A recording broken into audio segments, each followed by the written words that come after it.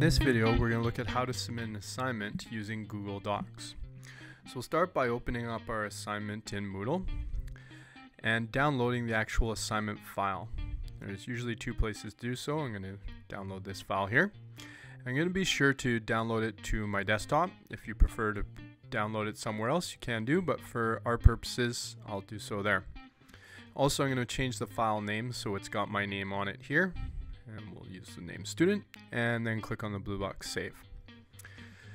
From here, we're now going to want to use Google Docs. So I'm going to open up Google and as we discussed earlier, if we go to our Google Drive, once we've opened an account, we can then open Google Docs under My Drive, as you see so here. This is going to open up a blank file, but what we want to do is now open the file we downloaded to our desktop. So to do so, I'm going to scroll up to File and Open. From here, this new prompt will allow me to upload if I click on the far right word upload and go select a file from your computer. We can now see that if I go back to my desktop on my computer where I saved my file, that the file is sitting there in doc format. I can then open it Give it a moment to upload because we're now using a cloud-based feature to edit this file. And here's my file.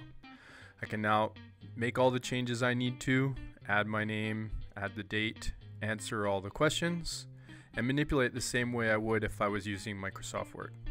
Once I've done all the questions, I'm now going to want to save my new copy. So I'm going to go File, Download As, and use a Microsoft Word. You'll notice it's now a .docx this is fine. Our teachers at West Shore can open a .doc or a .docx.